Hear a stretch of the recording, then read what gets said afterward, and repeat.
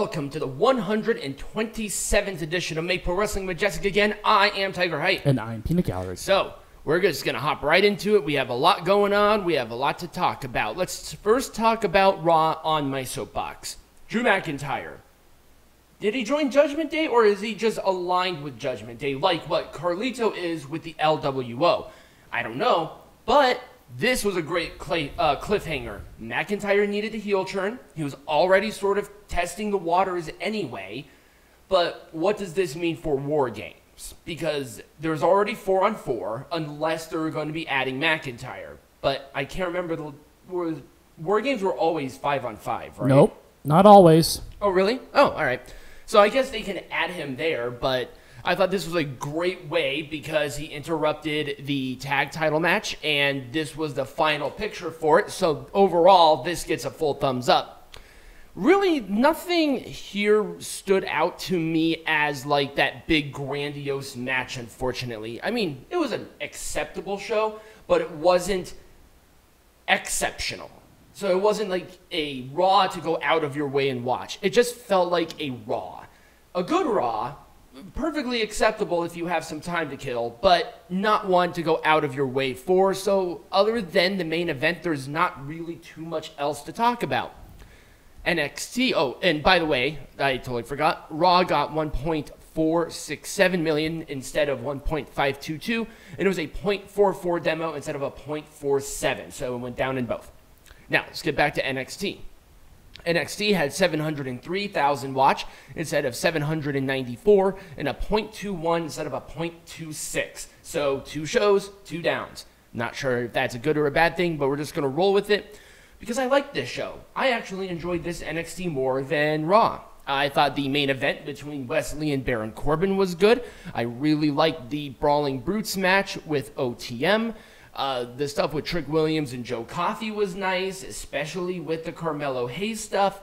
So a lot of stuff here worked, but there was one that kind of didn't for me, and that was the Tag Team Championships, where it went from Chase University back to the D'Angelo family within a span of like what two weeks, something like that. So it's like why did why bother putting the titles on Andre Chase and again testing the waters. Yeah, but there's another way to test the waters other than having uh, the tag titles. Why do that? It just it, it doesn't make sense, at, at least to me personally. Uh, other than that, there wasn't really a whole lot outside of there that sort of uh, blew me out of the water. So it was once again acceptable, but not out of your way to you know get it. Okay.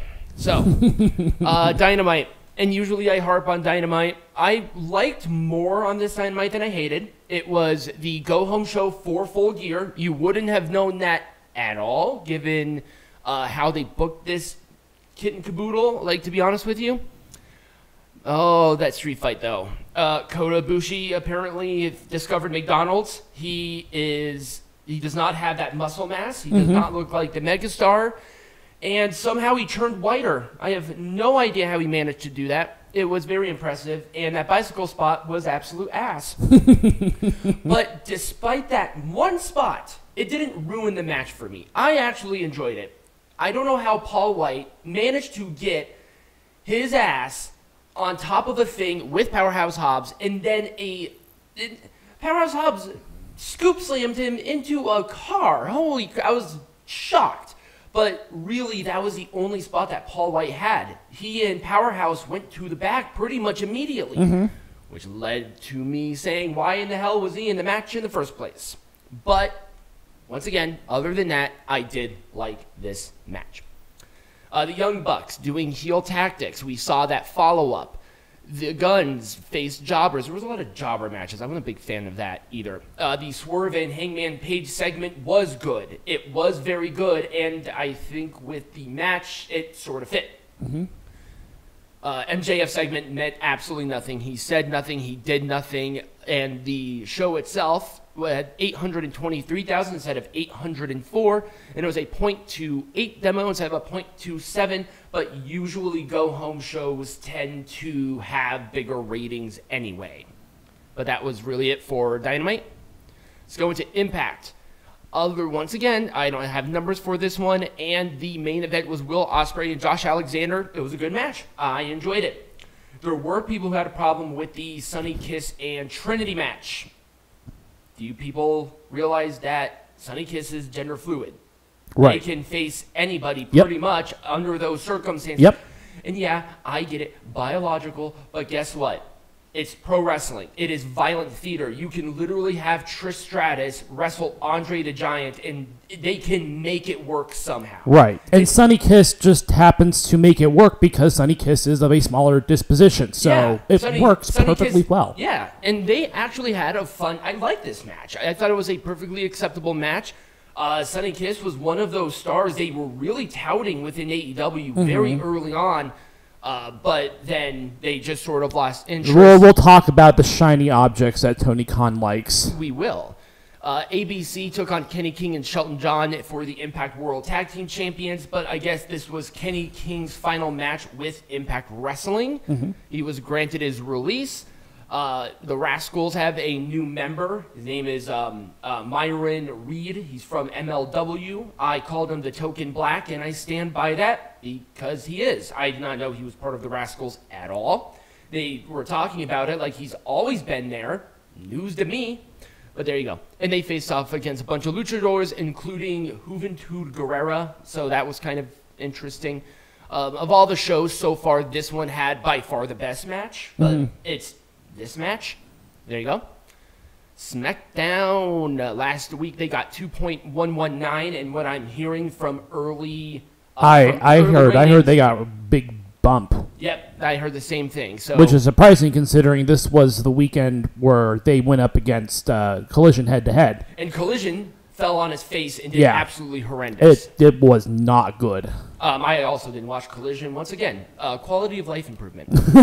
uh, everything was essentially around damage control with the new members. Right. And 100% this was the right call. It was the biggest shakeup within damage control, the biggest thing that happened at the end of SmackDown last week, and the follow up was good. Segment before, they did backstage stuff to find the other person, and then Becky Lynch showed up, which I think is great. Uh, I'm hoping Becky Lynch and Charlotte manage to.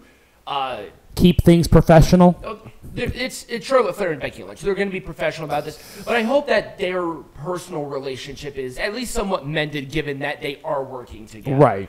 In- In pro wrestling, there is a certain amount of trust that you have to have given pro wrestling.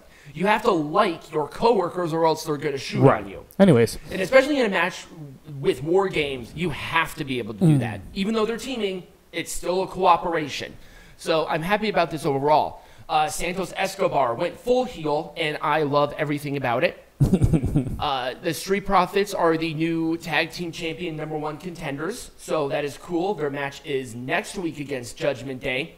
Uh, I'm, I'm hoping that they will be okay with this because Street Profits just turned heel, new theme, new attitude, and they're winning matches. And then you automatically put them with Judgment Day, who are pretty much the most over thing on Raw. right. Unless the Street Profits are going to win this, this is not going to be good. Well, I think this might be the moment where they split the tag team champions back up. Oh, I didn't even think about that. So maybe they're only going for the SmackDown tag team well, champions. as of as of right now, it's all, it's for undisputed. Right. And they, But- they but- tried to do that with the Usos, where the Usos would defend the Raw Tag Team Champions and then the SmackDown Tag Team Champions. right. I think I, I wonder if this is going to be a more permanent split, but you never know. You never know.